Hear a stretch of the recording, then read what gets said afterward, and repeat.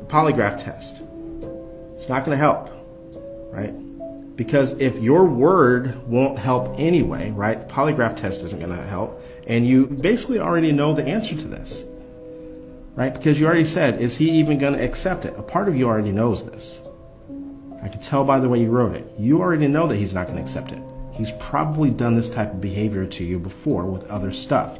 And he keeps on escalating it. This is very indicative of narcissist. I have a feeling that there's probably a lot of people that are in, that are watching this video, they're like, yep, my narcissistic ex or my narcissistic wife, my narcissistic husband, they do the exact same thing. My narcissistic mother, there's no, there's no, there's no amount, there's not enough evidence to give them because they don't want to know the truth. That's the issue.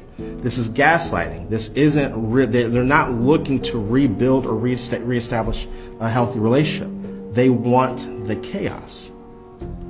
Right? So, yeah, with this type of behavior, they're just going to deny the test. They're going to say that you probably fucked the uh, the person giving the test, accuse you of doing something um, to falsify the test, or you are such a good liar because you're the narcissist that uh, you know how to mimic the test. There's not going to be enough to, that's going to satisfy. Thank you.